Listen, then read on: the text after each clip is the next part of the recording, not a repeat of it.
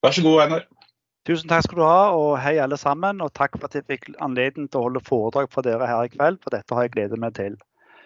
Og eh, som du sa, så er jeg utdannet på NTH i 1985. Jeg syns jeg kan si NTH, for det het det den gangen. Og I tillegg til å jobbe i Equinor, så har jeg også erfaring fra Aibel, Kongsberg Gruppen og Sintef.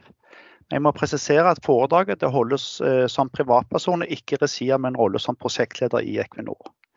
Foredraget det er holdt diverse ganger internt til Equinor eh, for DNB, Aker Solutions, eh, Wood, Aibel, Vesindi, Ny Kaupang med flere. Også som du sa, så har jeg holdt foredrag for eh, Blått energiform med Høyre i fjor. Det har jeg også gjort. Jeg skal da snakke om olje, gass og kull, vannkraft, kjernekraft, fornybar, CO2-utslipp, CO Parisavtalen, klimaloven pluss en del mer. Og Dette er jo den mest hete debatten som finnes i samfunnet akkurat nå, så jeg håper og tror at jeg skal gjøre dette til en interessant og spennende kveld for dere. Eh, og mitt inntrykk, det står jo helt, eh, det står der oppe, er at eh, det er veldig få som har satt seg inn i tallene. Så jeg sier da litt eh, freidig at aldri har så mange ment så mye med så stort emne som de kan så lite om. Så følg med. Dere skal få servert lettforståelige fakta hentet fra de samme kildene som klimaforsker ved CICERO Bjørn Halvard Samset benytter i boken i klimakrisen 2070. Og foredraget vil også bli gjort tilgjengelig i form av eh, slidene hvis noen er interessert i det. Det vil gjøres. Så da starter vi. Eh, slik ser verdens energiforbruk ut siden 1800, splittet på forskjellige energityper. Og siden det går oppover og oppover og oppover, og lander nå på eh, 167 800 TWh. Det er det samme som 604 exajoule og omregningen står her. Eh, siden tidenes morgen så hadde vi da ved, og vi hadde torv. Og så hadde vi da kull etter hvert, vi hadde olje, vi hadde naturgass, vi hadde kjernekraft, vi hadde vannkraft, vind, og så får vi da fornybar her oppe. Så vind og sol og moderne biofuels og renewables det går under kategorien eh, fornybar. Vannkraft er jo selvfølgelig også fornybar, men den er så stor at den regnes eh, som en egen bolk. Og Det er tre grunner til at energiforbruket eh, øker så dramatisk, siden, spesielt siden 1950. Befolkningseksplosjonen er den viktigste, den kommer tilbake til på neste slide. Og Grunn nummer to er at vi har løftet milliarder ut av fattigdom med tilgang på billig energi. Antall mennesker som lever i ekstrem fattigdom har blitt halvert de siste 20 årene, og kun 9% lever nå i ekstrem fattigdom. Den siste grunnen den er jo dere som sitter og hører på medansvarlige for. Vi har hatt en kolossal velstandsutvikling i vår del av verden og andre steder. På 1960-tallet var det vanlig med hytte på 50 kvadrat, vann i bekken, stearinlys på bordet for de som hadde hytte. Nå har folk hytter større enn hus, kanskje en leilighet i Syden, og noen reiser på fotballturer til Barcelona mens andre drar på shopping til New York. Og det genererer selvfølgelig et stort energiforbruk. Og den viktigste grunnen til at eh, verdens energiforbruk øker så kraftig som det gjør, det er befolkningseksplosjonen som har funnet sted. Eh, vi er nå passert over 8 milliarder mennesker. Jeg ble født i 1959, og da passerte vi 3 milliarder. Og fra 1998 eh, og frem til i dag så har vi økt med 2 milliarder. Det er 25 år. Eh, og på de 25 årene så gir det en gjennomsnittlig økning på 80 millioner mennesker, nye mennesker hvert eneste år. Dvs. Si omtrent et nytt Tyskland hvert eneste år. Og alle disse menneskene de skal selvfølgelig ha mat, og de forbruker jordens ressurser. Og de forsøpler CO2 og de forsøpler på annen måte her på jorden. Så det er et større belastning, selvfølgelig. Kraftig økning siden 1950-tallet. Dette er en veldig enkel slide, men en av de aller viktigste. Og jeg skulle ønske han var gjengitt i avisen eh, litt, kanskje litt oftere. Det er energiforbruket siden 1965. Det grå er fossilt, og det er fremdeles veldig dominerende. Når jeg sier fossilt, så betyr det olje, gass og kull. Det kalles for fossil energi. Og så ser dere noen dipper her. Den første dippen har dere sikkert tippet allerede. Det er jo pga. covid. Så fikk vi en dipp, en kraftig dipp.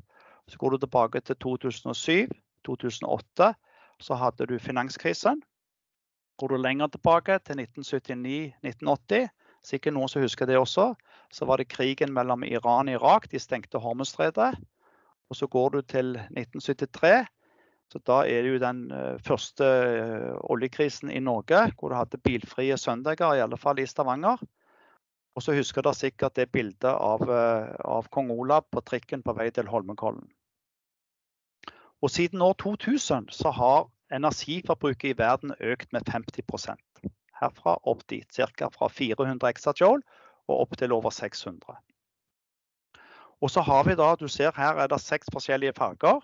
Og det er at vi har kun seks typer primærenergi. Det er olje, som er nederst. Så er det gass, så er det kull, så er det kjernekraft, så er det vannkraft og så er det fornybar. Og som jeg sa på forrige slide, vannkraft er også fornybar, men den er såpass stor så det er en egen bolk. Så den fornybare her, det er sol, det er vind, det er geovarme, og det er biofuel og sikkert noe mer. Det er det som ligger i det grønne der. Eh, lite øyeblikk her, så må jeg tilbake til den. Uh, ja, så har vi her. Så nå skal dere få greie på prosenten, hvordan prosenten er her på, på, på, neste slide. skal dere få høre. Jeg vil nevne én ting til på denne sliden her, og det er at eh, hydrogen, noen tenker kanskje på hydrogen. Hydrogen er ikke en primær energikilde. Det er en energibærer på lik linje med eh, som parafin eller diesel. diesel. Og enda en ting til på denne sliden her, det var at i 1965 så var vi omtrent 100 avhengig av olje, kull og gass, altså fossilt. Og det er vi ikke nå lenger, i 2022 eller 2023. Vi er kommet helt til 2024 også. Nå har vi da både kjernekraft, vannkraft og fornybar. Men allikevel så forbruker vi nå tre ganger så mye fossilt som vi gjorde i 1965. Pga. at energiforbruket øker. Så selv om vi får nye energityper til, så har ikke bruken av olje, kull og gass gått nedover. Så ser dere energiforbruket splittet på primære energityper for eh, land eller regioner. Og da starter vi på, eh, med hele verden. I dag så er 32% av verdens energiforbruk det er olje. 23 er gass, og 27 er kull. 4 er kjernekraft, 7 er vannkraft og 7% er fornybar. Og vi er ca. 8 milliarder og 55 millioner mennesker i verden. Så ser du hvordan det er fordelt på USA. I USA er det, eh, det som er den største forbrukeren av olje i verden. 38 av forbruket i USA olje. Så har de mye gass, skifergass òg. Så har de en del kull, og de er størst i verden på kjernekraft. Og så har du vannkraft, og så har du fornybar. De er store også på fornybar. Og nå er USA 340 millioner mennesker. Jeg reiste på en roadtrip i 1980 eh, med fire kamerater. Og da var Amerika 250 millioner. Så de har økt da, eh, siden den gang så har de økt med 90, 90 millioner mennesker. Så går vi til eh, den viktige regionen, eller landet Kina. Kina er ekstremt viktig pga. det er så stort. 1425 millioner mennesker. Det er da eh, omtrent dobbelt så stort som Europa i, eh, i antall mennesker, og tre ganger så stort som EU. Og 55% av energiforbruket i eh, Kina er eh, kullbasert. Så er 8% er gass, så har du 18 er olje. Kjernekraften har du der. Og så har du eh, vannkraft. De er størst i verden på vannkraft, og de er størst i verden også på fornybar. Disse tingene kommer vi tilbake til på de neste slidene. Så går vi til et nytt stort land som er veldig interessant. og Det landet har faktisk passert Kina nå i antall mennesker.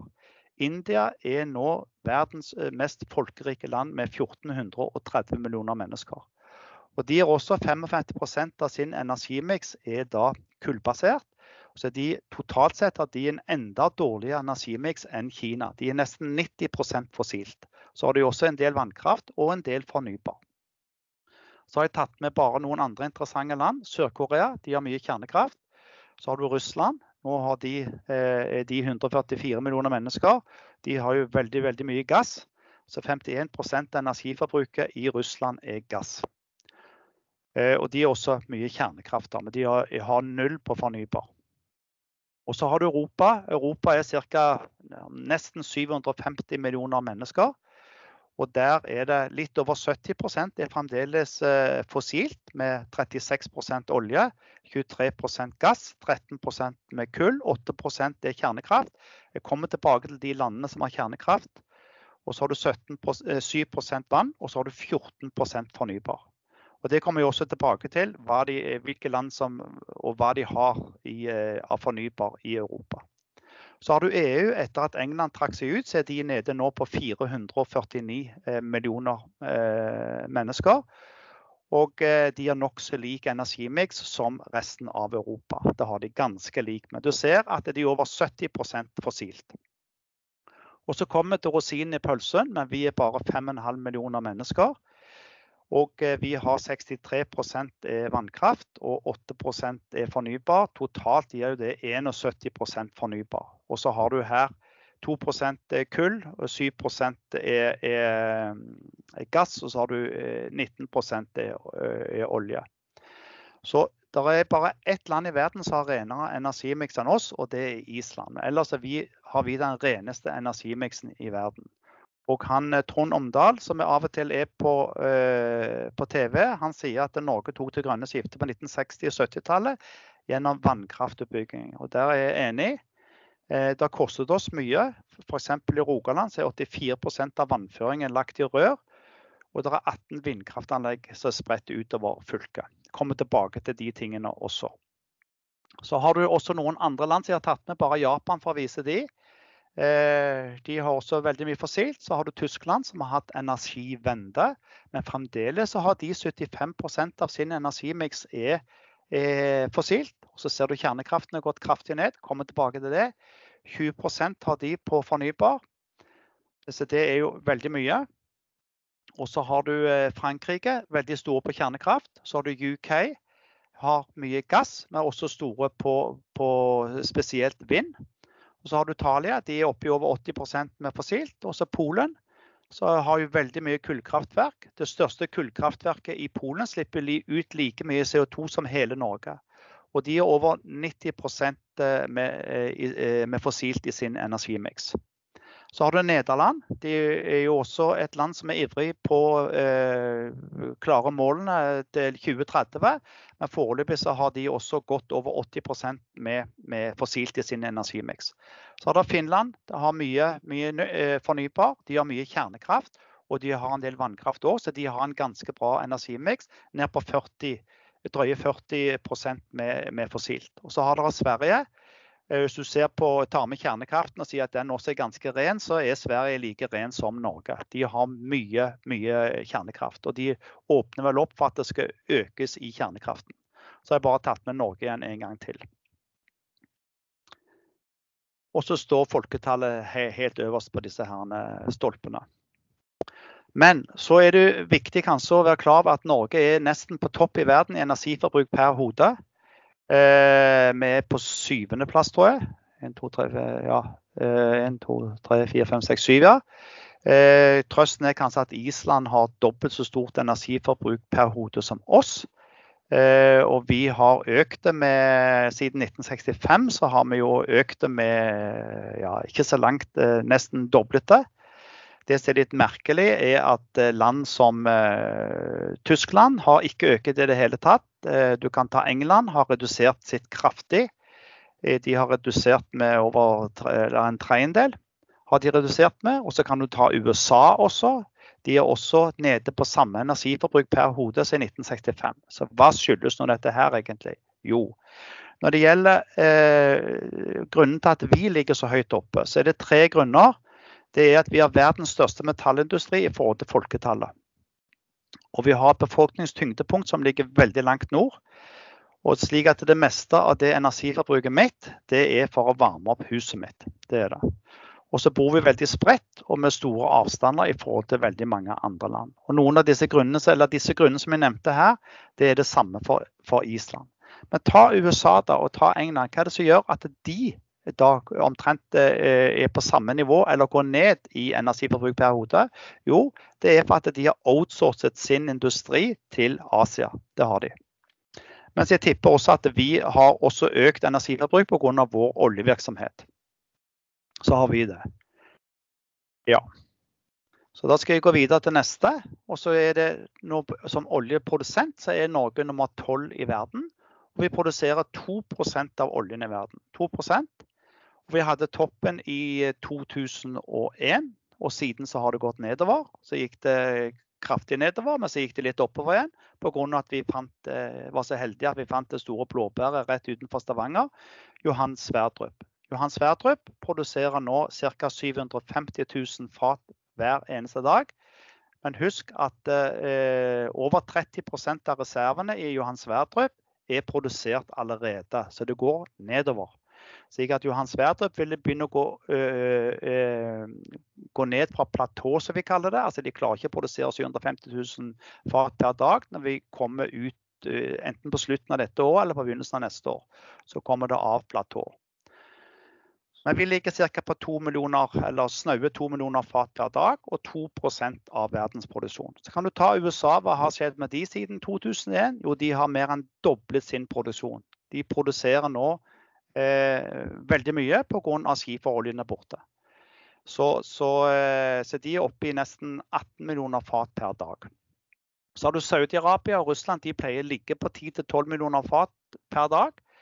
Eh, og så har du Canada. De har hatt noe av samme utvikling som USA. De har omtrent doblet sin produksjon siden 2001. Eh, så har de doblet nesten sin produksjon.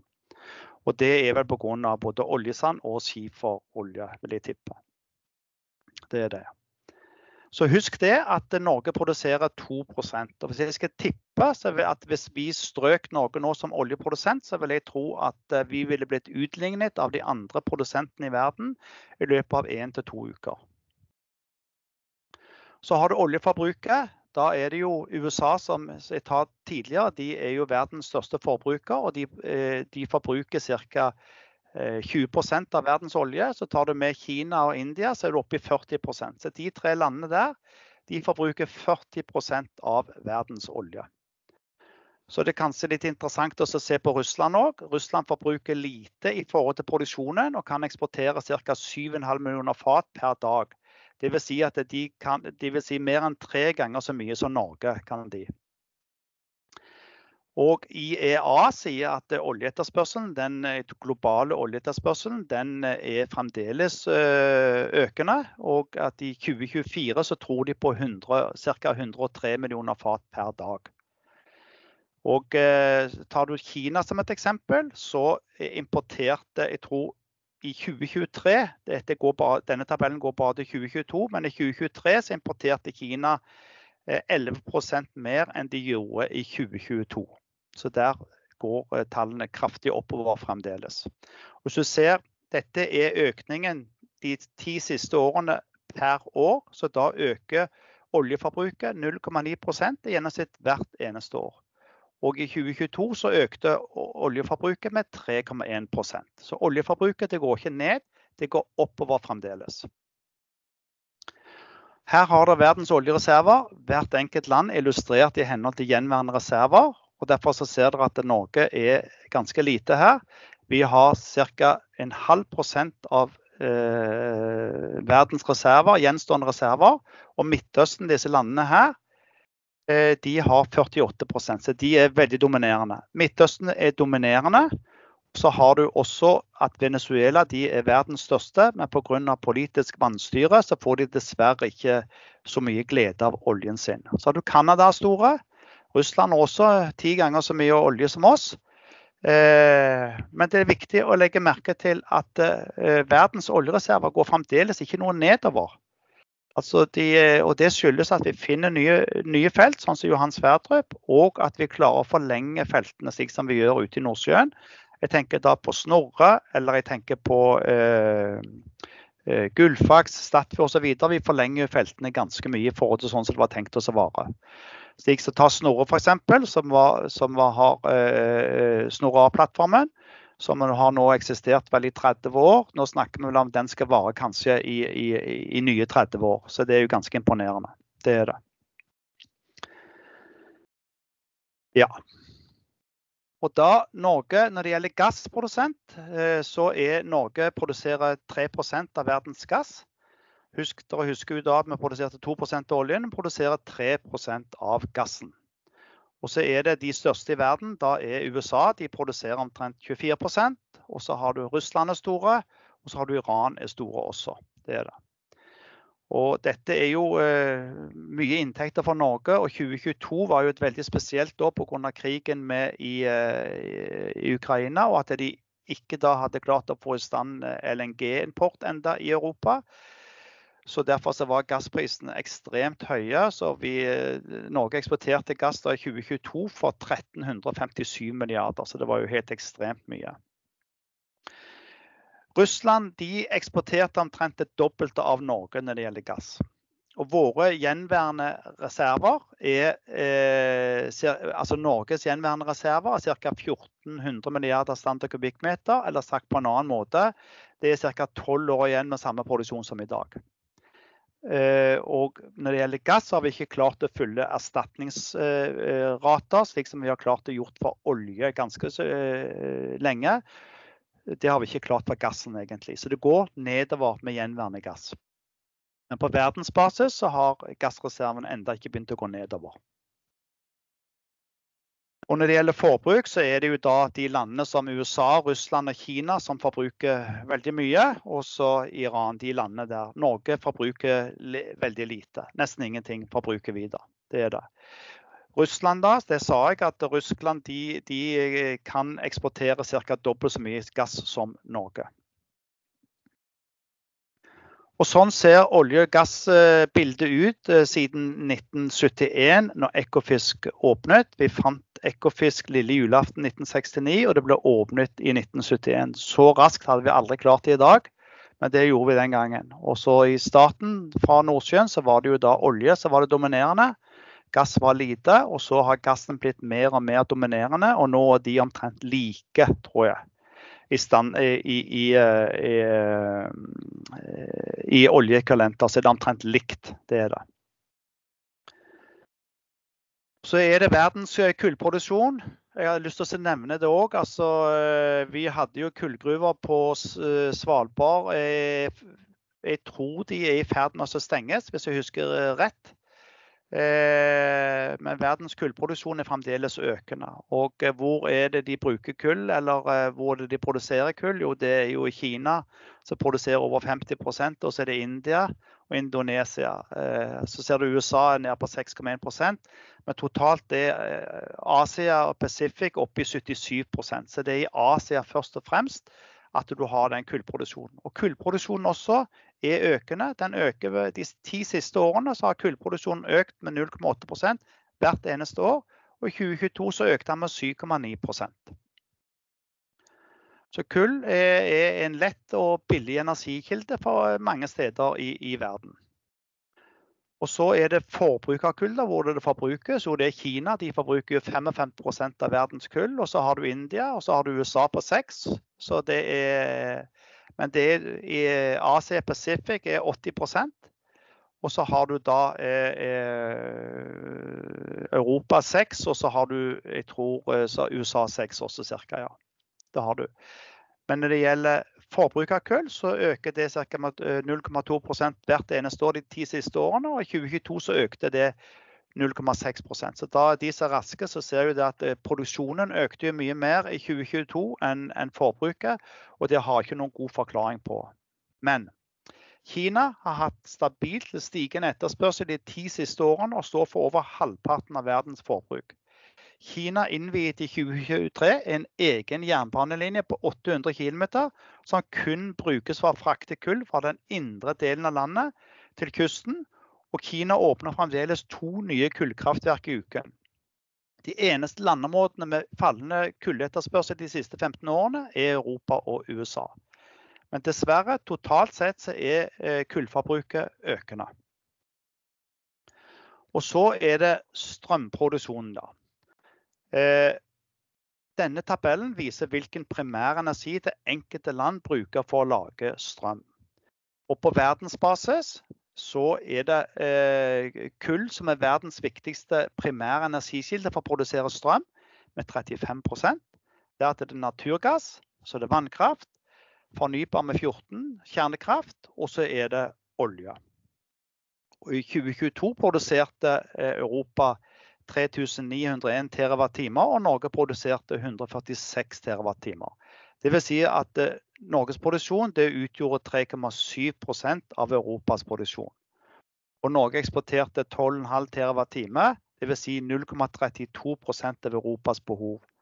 Og Da vil jeg påstå at vi kan ikke bli Europas grønne batteri. Det er vi altfor små til. Det er vi. Um, og Hvis dere ser da på land, ta, uh, USA f.eks., hva det de bruker for å lage uh, strøm? Da er det naturgass som er det dominerende. På denne siden av tabellen så ser dere tallene for 2022. På den siden så ser dere tallene for 2021. Og Her ser dere at det er naturgass som er den dominerende, og nummer to er kull, og så er det kjernekraft i USA. Frankrike så vil ha sikkert tippet at det var kjernekraft, og det er helt riktig. Det er kjernekraft som er den dominerende i Frankrike, som dere ser der. Og dette er terawatt-timer, så de får, eh, de får 295 terawatt-timer ut av kjernekraften. Og så har du da Tyskland. Der er, de, er, det fornybar som er den største kilden til, eh, i strømnettet. Og så har du, eh, kan ta United Kingdom også. Der er det også fornybar er den største, og så har du naturgass som er nummer to. Det er det. Men totalt for Europa så ser vi da at det er i Europa totalt sett så er det nå fornybar som er den eh, største. Og så har du da naturgass, og så har du kull, kjernekraften, ja, og så vannkraften. Så ser du det hva som er for Europa. Ja. Yes. OK, så går vi til vannkraft. Eh, som jeg sa, vi tok det grønne skiftet på 1960- og 1970-tallet når vi bygde vannkraften. Vi er store på vannkraft, i alle fall i forhold til folketallet. Vi er nummer syv i verden når det gjelder vannkraft, og i eh, 2022 så produserte vi 128 TWh med vannkraft. Jeg kommer tilbake til tallene for 2023. Det kommer tilbake til litt eh, senere. Og så ser dere at De største i verden er jo Kina. De produserer jo 1300 TWh når det er i Kina med vannkraft. Og så er det Brasil som er nummer to, og Canada like etter. Men Kina er en egen klasse. Det er jo et veldig stort land, men i tillegg er det jo enklere å bygge ut vannkraft der. Er det en by som ligger i veien, så er det jo enklere å bare be de flytte seg, enn det er for en by som ligger i veien i Europa. Og så skal dere vite det at total installert vannkrafteffekt i Norge er 34 000 megawatt. For det er viktig å huske når vi skal snakke om vindkraft. Hvor mye vannkrafteffekt har vi i Norge? Jo, vi har 34 eh, 000 megawatt. Det er det. Det er det samme som 34 gigawatt. Det det. Så det kommer vi inn på det tallet litt senere også. Men først skal jeg bare nevne så vidt kjernekraft. Og kjernekraft i, eh, i 2022, eh, det var litt spesielt. Verden gikk faktisk ned når det gjaldt kjernekraft i 2022. Det var litt overraskende for meg inntil jeg begynte å se på tallene. Og da er det jo at Germany de stenger jo ned all kjernekraften sin, så de reduserte med, med ganske mye. Og så har du Ukraina reduserte også kraftig. Og så var det problemer i Frankrike. Eh, jeg husker ikke om det var pga. at det var mangel på vann, eller om det var vedlikehold. Men det var kraftige problemer i Frankrike i alle fall. Men jeg tror at på sikt vil kjernekraft være stigende. Det kan du bare se på hvis du følger med på uran. Så går prisen på uran kraftig oppover for tiden. Så jeg tror at kjernekraft det er det som kommer til å komme for fullt. Og så har jeg lyst til å nevne Japan. Japan hadde inntil uh, ulykken i uh, Fukushima i 2011, så hadde de oppi omtrent 300 TWh med kjernekraft. Og så fikk de den forferdelige ulykken med, med den tsunamien som uh, slo det kjernekraftverket. Og så, så, gikk de nesten ned til null. Men nå, hvorfor de gikk ned akkurat i 2022, det vet jeg ikke. Det kan være vedlikehold. Men i alle fall så tror jeg at det, det vil være stigende fremover. Det samme vil jeg tippe for Sverige, men Sverige har da en produksjon på ca. 50 eh, TWh nå med, med, kjernekraft. Og Tyskland da, det tror jeg er stengt ned de siste der. Eh, hva de gjør fremover, det blir jo litt spennende å se. Men Kina har jo også kjernekraft. Det har de, og USA er den desidert største med kjernekraft. Kina er dobbelt så stor som neste på listen. Er, er, nei, USA, unnskyld. USA er den desidert største, og så er Kina nummer to. Og så har du Frankrike og uh, Russland nedover på listen her. Ja. Så er det fornybar. Det er jo det det snakkes mest om i media for tiden. Eh, og eh, jeg kan først ta det at i 2022 ble det produsert ca. 14,8 TWh vindkraft i Norge. I 2023 var det litt under 14 TWh. Og eh, ved utgangen av 2022 var totalt installert vindkrafteffekt i Norge 5000 megawatt. Så husker sikkert en del av dere at når det gjelder vannkraft, så har vi 34 000 megawatt installert.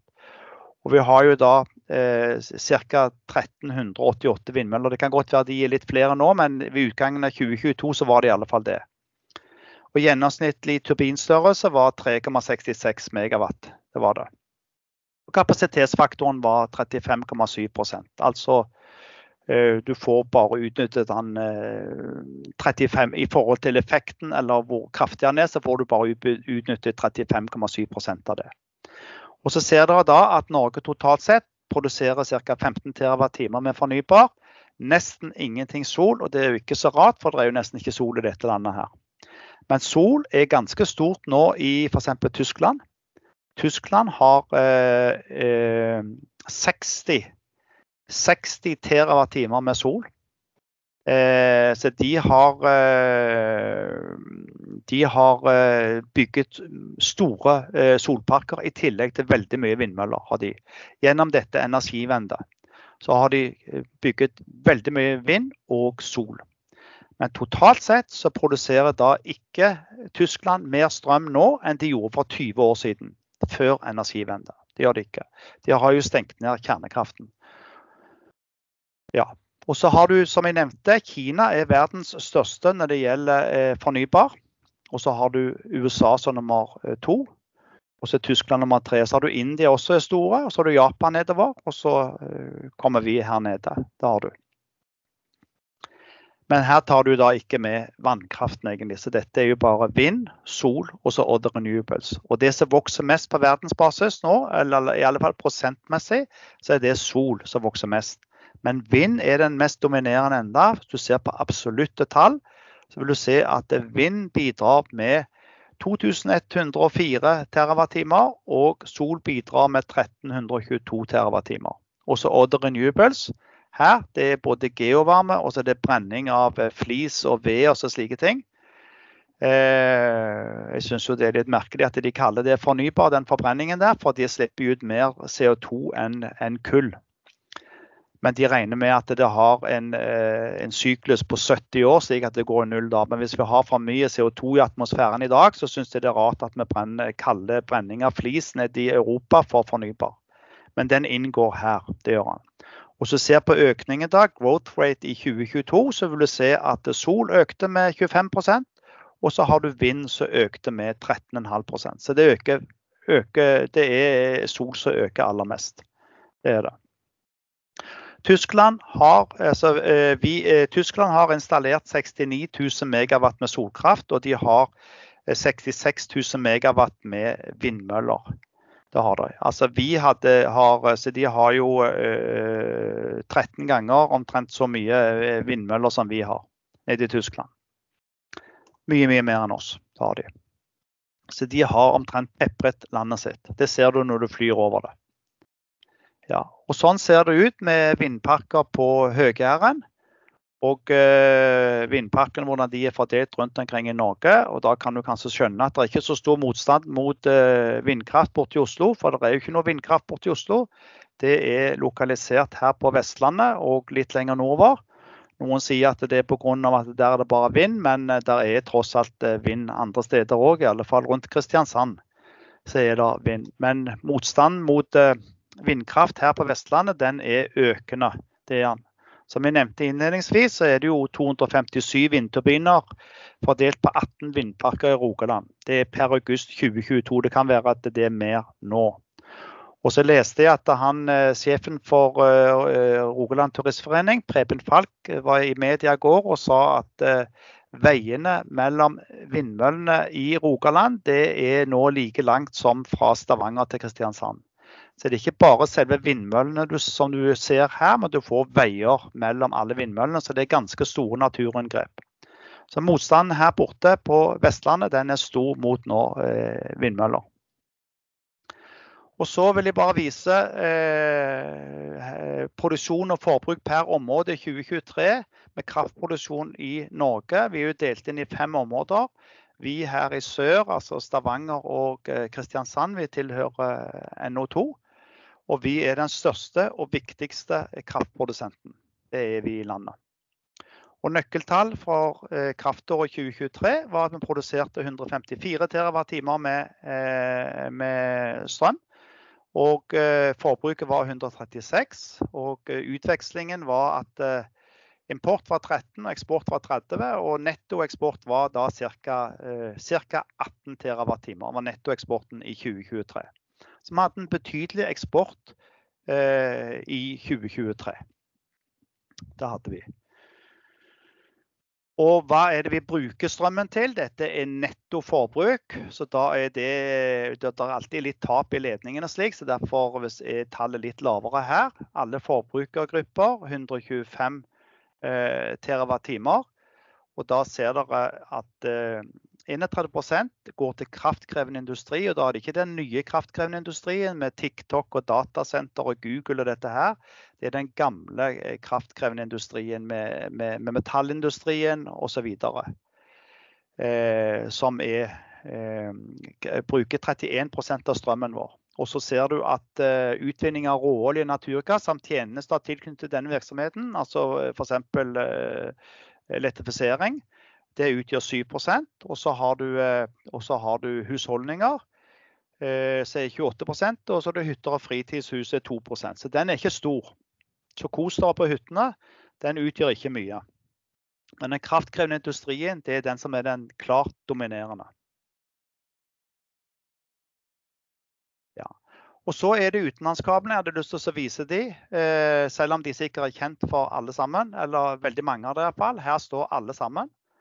Og der er 17 kabler til utlandet. Og her står det hvor kraftige de er. Eh, du hadde den til England. Den er på 1400 megawatt. Det er like mye, så du kan drifte fire Melkøyanlegg. Den ene kabelen der kan drifte fire Melkøyanlegg. Det samme kan den kabelen der, den som går til Tyskland på 1400 megawatt, den kan også drifte fire Melkøyanlegg. Så de er veldig store. Og så har du da til Danmark, så er det eh, enda mer. Der, på grunn av der er det mange kabler. 11, 12, 13 og 15. Det er totalt 1700 megawatt.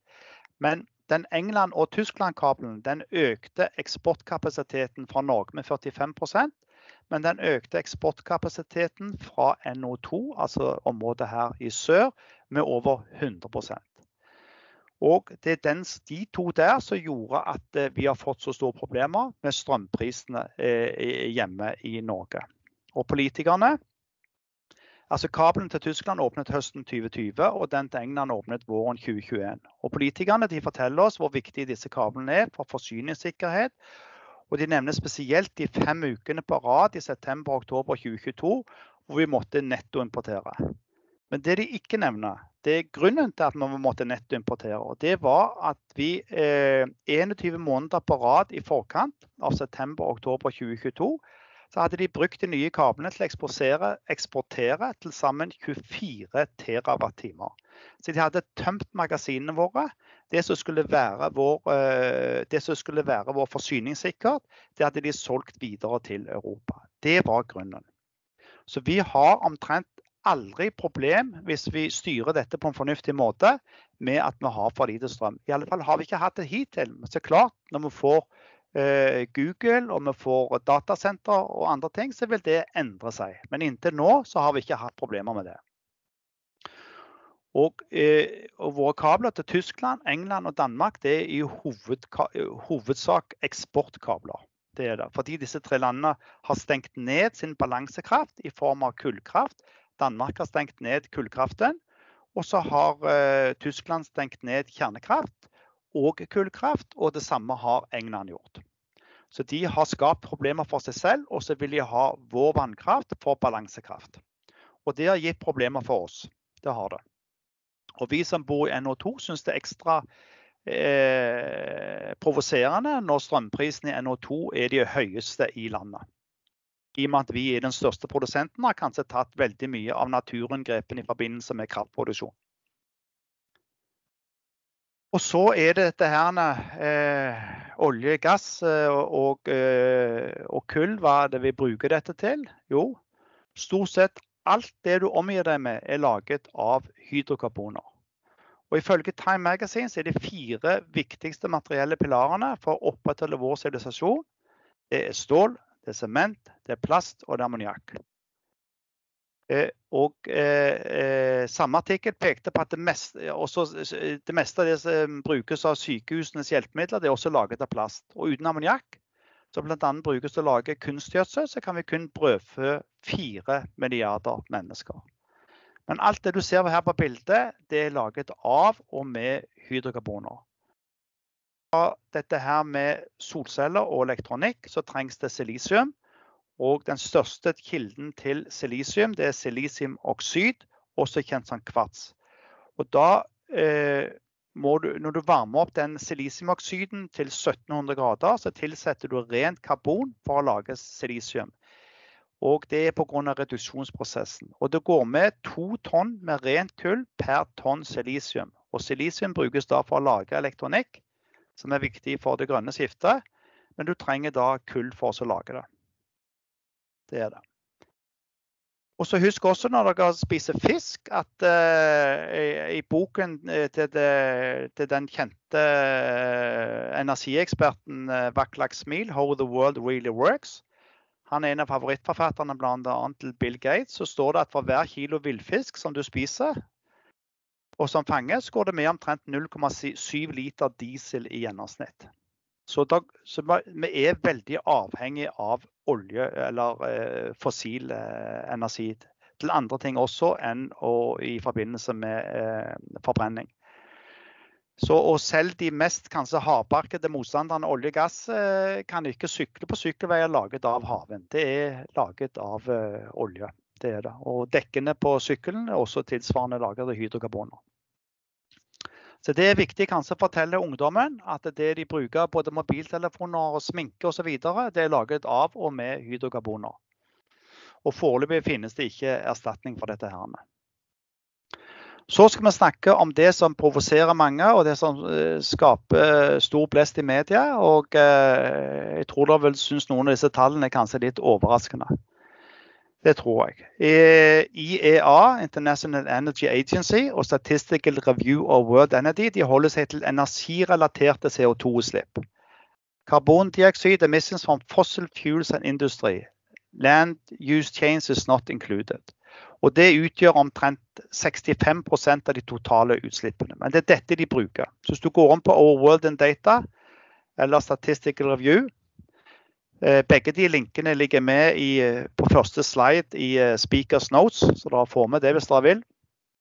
Så vil dere se at de forholder seg til det. Og Da ser dere hvordan verdens CO2-utslipp eh, knyttet til dette her, med fossilt, eh, forbrenning av fossilt, hvordan det øker, øker og øker. Og det øker i hele verden, og det øker i Asia, men det går ned i Nord-Amerika og det går ned i Europa. Eh, globale energirelaterte CO2-utslipp økte med 0,9% i 2022. Og i 2023 så økte de ytterligere med 1,1% Og Det er det høyeste nivået noensinne. Og Norge slipper ut under 1 promille. Slik at du da kan si at uh, i 2023 så økte verdens CO2-utslipp med 11 ganger Norges utslipp. Og her har jeg lagt en, en, en, kurve igjen som går fra 1990. og Det vet dere sikkert hvorfor jeg har tatt 1990. På grunn av at, jo, det er jo pga. Parisavtalen som har referanse til 1990. Og Det viser da utslippene fra 1990 og frem til nå. Sånn ser det ut på verdensbasis. Og så ser dere hvordan hvis vi skal klare 55% reduksjon i henhold til 1990-utslipp, så må du ned her. Det har jeg da ingen tro på at du vil klare. Det går oppover fremdeles, som jeg sa på, på forrige eh, side. Hvis du ser på denne rundingen her, hva betyr den? Det har jeg merket av 2003. Jo, for siden 2003 så har verdens utslipp økt like mye som summen av Europa og USA sine utslipp. Så ser her så ligger de ca. på 5 millioner eh, De ligger på ca. 5 eh, millioner eh, skal vi se, megaton, ja det skal være her. Vent litt nå, jeg gikk litt sur her. Megaton er det vi snakker om. Og da ser du på, på Så ser du her oppe, så ser du økningen her er tilsvarende. Så ser du tilsvarende der. Det er det. Så hvis du ser på siden 1990, så har global befolkning økt fra 5,3 milliarder mennesker til over 8 milliarder. Det har skjedd. Fra 5,3 til over 8. Og fremdeles så øker det da med 70-80 millioner mennesker hvert eneste år. Og energiforbruket, hva skjer med det? Det var jeg inne på tidligere. Det har økt siden 1990, så har er økt med 67 Og forbruket av olje, gass og kull har økt med 65% og så er tosippen i verden har økt med 63% på tross av at Europa har redusert sine utslipp med 38% Jeg vil gjerne gjenta den. Altså CO2-utslippene i verden har økt med 63% siden 1990, på tross av at Europa har redusert sine utslipp med 38% og USA har redusert sine utslipp med beskjedne 1,2% men en positiv ting og det er antall mennesker som lever i ekstrem fattigdom, det har heldigvis sunket fra 38% til 9% og Det er pga. å bruke mer energi for å løfte folk ut av fattigdom. Men hvis eh, vi skal klare disse målene som vi har for Norge, eh, for verden, så må eh, utslippene gå ned sånn som dette. Og det tror jeg er vanskelig å få til. Ja, og her ser du Jeg rota litt på forrige slide med, med megatonn og så forskjellig. Her står det millioner tonn, det er megatonn. Så da, da er jeg inne på riktig bane igjen. Og Da ser dere at eh, Norge slipper ut 32 eh, megatonn, altså 32 millioner tonn. Det er ikke de tallene som står i pressen. De kommer jeg tilbake til på neste slide. For Husk at dette er bare det som skyldes eh, from energy, altså fra olje, kull og gass. Jeg kommer tilbake til de som står i pressen på neste side, eller på de neste sidene. Men da ser dere at eh, Norge slipper ut eh, promille av verdens utslipp. Og så har du da Kina, slipper ut nesten 31% Det er jo ikke så rart, for de produserer jo alle varene som vi bruker. Og så har du USA som slipper ut mye, og så har du India som slipper ut mye. Så de tre landene der slipper ut til sammen 50 men husk også at vi leverer olje og gass til hele verden. Og de utslippene som er forbundet med produksjon av olje og gass, de må vi svare på for i vårt regnskap. Akkurat som Kina må svare for uh, uh, i sitt regnskap med det som de produserer for resten av verden. Ja. Så, sånn ser det ut. Så er det sikkert noen også som lurer på hvor mye vi slipper ut per hode osv. Men jeg skal bare vise hvordan dette øker da for hele verden. Så ser på growth rate per annum fra 2012 til 2022, så øker det i gjennomsnitt 0,6 hvert eneste år. Så verdens CO2-utslipp går fremdeles ikke nedover. Og i 2022 står det her, så økte det med 0,9 Og hvert eneste år 0,6% Så det går Mens hvis du ser på Europa, så har det gått ned 1,8 hvert eneste år. Hvis du ser på USA også, så vil jeg tippe at de også har gått ned. ja. Men det hjelper ikke så lenge at vi blir flere mennesker og løfter flere mennesker ut av fattigdom i resten av verden. Og Europa og USA er nå ikke det dominerende når det gjelder eh, antall mennesker i verden. Så da er det CO2-slipp per capita. Denne har jeg hentet fra Verdensbanken. Og den sier at Norge slipper ut 6,73 tonn per hode. Og så har du at eh, Kina ligger litt over oss, eller de ligger over et, eh, et tonn over oss. Og så vil jeg heller se på OECD-landene. Jeg mener at vi bør sammenligne oss med OECD. Det er Vesten stort sett. Eh, det er Europa, det er USA, det er Japan og det er ja, det er eks-Russland, eks-Kina, eks-Afrika i alle fall som ligger innenfor OCD-landene. Så Vi ligger under det snittet der, men vi ligger da høyere enn uh, euro-area. Vi ligger høyere enn United Kingdom osv. Og, og Sverige så ligger vi høyere. Det gjør vi.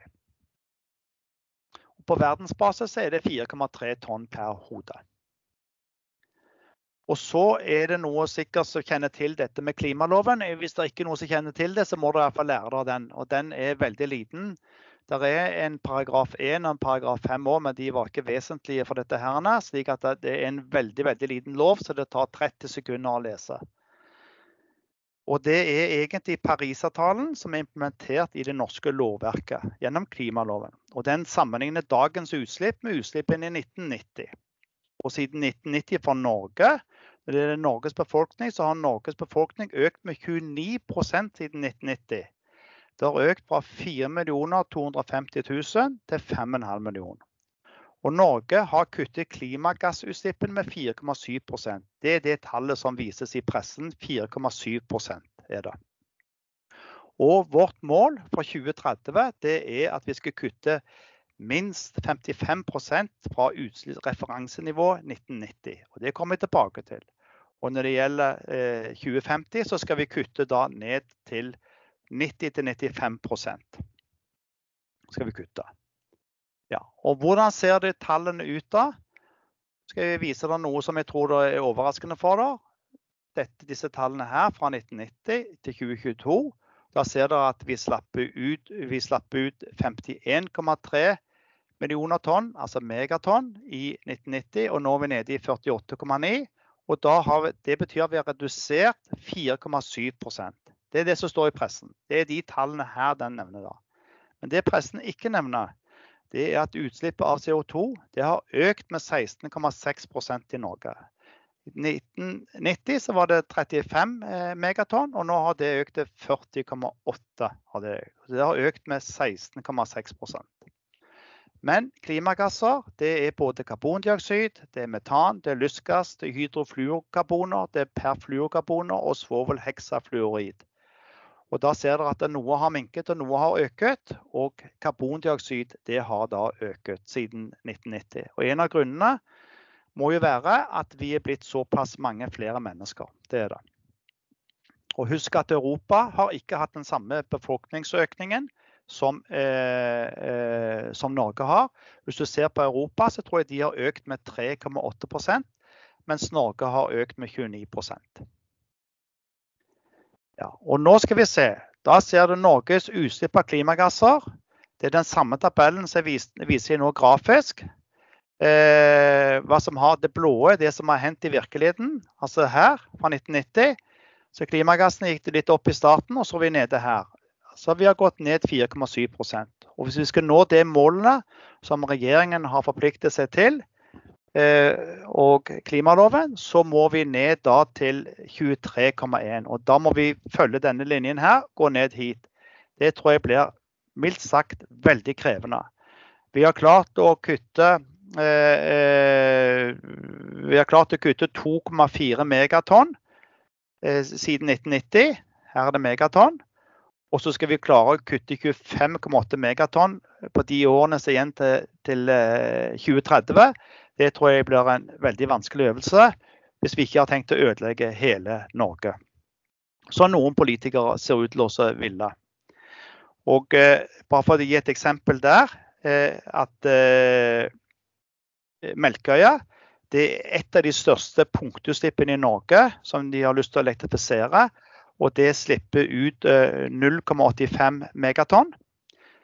Og så tar du Hywind-Tampen, de elleve vindmøllene ute på, ute på uh, Hywind-Tampen ute i Nordsjøen, Snorre bl.a.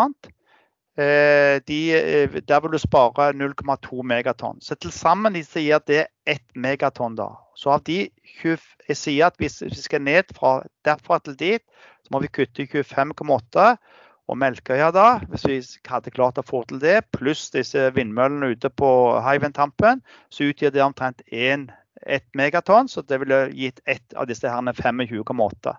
En meget krevende oppgave å komme ned her, som gjør at uh, jeg har ingen tro på at vi klarer dette her i det hele tatt. Så der deler jeg oppfatningen til uh, han Ola Borten Moe. Og så ser du olje- og gassutvinningen. De står for ca. 12 megatonn.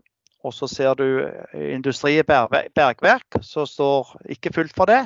Så hvis, du, hvis vi skal klare det, klare de kraftige målene til regjeringen, så betyr det at vi må stenge ned olje- og gassutviklingen og all industri i bergverk, pluss oppvarming i eh, næringer og husholdninger. Det er det vi snakker om. Du må omtrent stenge ned hele samfunnet for å klare de målene. Hvis du ikke skal kjøpe klimakvoter og slike ting, det har ikke jeg tatt stilling til her. Så det tar ikke jeg stilling til.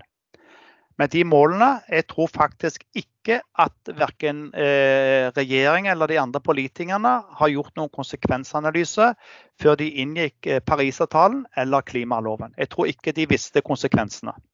Akkurat som de ikke visste konsekvensene når de åpnet eh, kabelen til England og til Tyskland.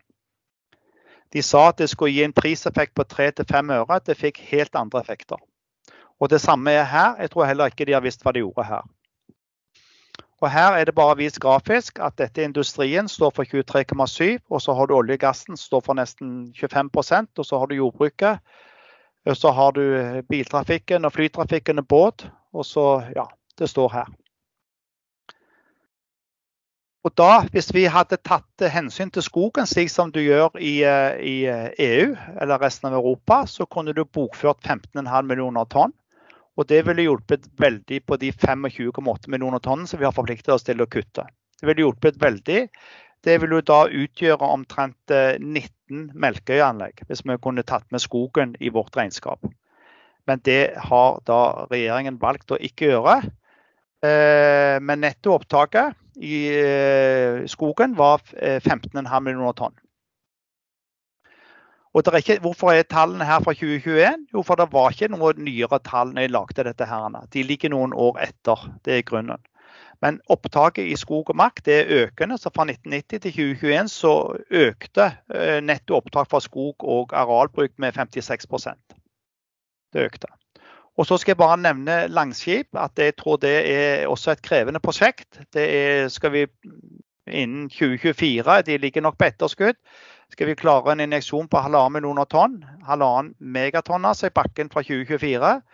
Og fase to var det snakk om 5 millioner megatonn fra 2027. Det er jo også forsinket i og med at jeg tror de har stoppet fase to pga. kostnadsoverskridelser. Men 5 millioner tonn, eller 5 megatonn, det er under 1 promille av Europas årlige CO2-utslipp. Og Det samlede kostnadsestimatet for Langskip er omtrent 30 milliarder, og det er før de eh, kost, annonserte kostnadssprekkene. Så dette er et kjempedyrt prosjekt, og det er beskjedne ting som presses i bakken, foreløpig i alle fall. Så skal jeg vise litt eh, rykende ferskt resultat for Equinor for 2023. Selskapet fikk eh, et justert driftsresultat på svimlende eh, nesten 400 milliarder. Eh, hvor 273 milliarder gikk i skatt, som går til oljefondet og vår velferd. Og I tillegg fikk staten i 2020, eh, i 2023 så fikk de et utbytte på 125 milliarder, for vi tjente jo så ekstra mye i 2022. Så totalt fikk staten da i fjor 400 milliarder kroner av eh, Equinor. Og Hvis du sammenligner det med utgiftene i statsbudsjettet for 2024, det er jo på, det er jo på 1882 milliarder så er 400 milliarder fra eh, Equinor ganske mye. Og Da ser dere hva vi Equinor tjener penger på. Det er eh, Nordsjøen. Den øverste linjen er Nordsjøen. så 80, Nesten 82 av eh, fortjenesten vår, justert driftsresultat, det kommer fra Nordsjøen. Og så har du internasjonalt, det er 8% Og så har du utforskning og produksjon i USA, 3 og så er det markedsføring, midtstrøm og prosessering. Det er landanleggene våre bl.a. Og tradingvirksomheten 9 og så har du fornybar, minus ca. 5 milliarder. De er alltid i rødt. Og så har du eh, litt annet. Så det er ikke fornybar vi tjener penger på. Er, hvis noen tror det. Og noen sier sikkert sånn ja, vi må jo få starte en gang. Vi tjente sikkert ikke penger på olje- og gassvirksomheten i starten heller. OK, men vi har jo holdt på med, med fornybar i over 15 år i Equinor. Så, er, så, vi har holdt på ganske lenge, egentlig. Og, og, det ser jo ikke bedre ut heller fremover når det gjelder fornybar, hva vi vil tjene på det. Og så Norge har de seneste årene dekket mellom 20-25% av det totale gassforbruket i EU og Storbritannia. Nesten all olje og gass som vi produserer, det går til eksport. Og eksportverdien utgjør over halvparten av samlet norsk vareeksport. Så her ser dere hvordan, eh, hvordan eh, det er fastlandseksporten og så ser du eh, råolje og naturgass, hvor dominerende det er. Så det er det som betaler velferden til Norge. Det må vi i hvert fall være klar over. Og de som vil legge ned denne virksomheten, de er iallfall ikke foreløpig kommet opp med en annen virksomhet som vil erstatte disse kolossale inntektene. Så da er jeg gjennom slidene, så da vil jeg bare avslutningsvis si følgende. Det finnes ingen quick fix på det grønne skiftet. Det er ikke like enkelt som å skifte fra vinterdekk til sommerdekk på en bil. Og jeg har heller aldri møtt noen som vil slutte å reise på ferie til Europa eller resten av verden for å spare energi og CO2. Eller kanskje slutte å reise på familiens hytte på fjellet eller ved sjøen. Stenge ned f.eks. For, for å si det at eh, nå skal vi ikke reise lenger til Sirdalen fordi at det krever for mye energi. Eller vi skal slutte med, eh, slutte med å, å, å, stå på slalåm osv. Aldri hørt noen som sier det. Jeg tror at befolkningseksplosjonen, den som pågår fremdeles, og velstandsutviklingen i verden, og at vi løfter folk ut av fattigdom, at det vil medføre at energiforbruket og CO2-utslippene kommer til å øke i mange år fremover. Så videre tror jeg at verden må, Hvis vi skal satse noe, så må det for å få ned CO2-utslippene signifikant, så er det kjernekraft. Kjernekraft for å erstatte, eh, for å erstatte kullkraft. Jeg vet at det er en lang prosess, at du, du, du, gjør ikke det i løpet av eh, et år eller to. Men jeg tror allikevel verden bør, må satse på det for at vi skal få ned, ned eh, CO2-utslippene. Ellers så tror jeg ikke det er mulig å gjøre det. Men det som er sikkert, er at vi er på starten av et veldig veldig turbulent tiår, og der alt og alle vil bli veldig påvirket av det som nå skjer i energibransjen. Så da vil jeg si eh, Jeg håper det er mange som hører på meg fremdeles, at det ikke falt fra. Men jeg vil si tusen takk for oppmerksomheten, eh, for at jeg fikk lov til å holde foredrag for dere. Så takk for meg.